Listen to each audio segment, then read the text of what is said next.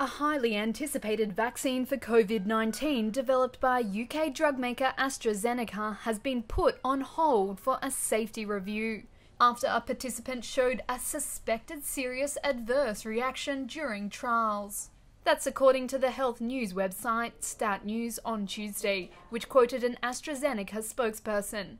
The nature of what it called a quote, unexplained illness and when it occurred has not been disclosed.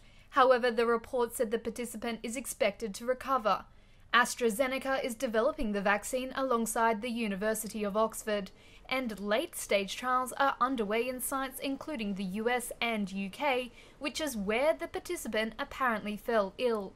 The spokesperson said the trials were being paused to quote, allow review of safety data.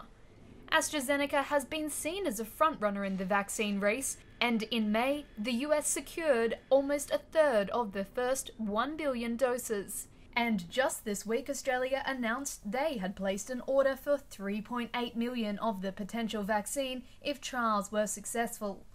On Wednesday, the country's deputy chief minister told Sky News he wasn't worried about pausing trials and that it's a positive thing because, quote, safety is the priority of the clinical trialists and investigators.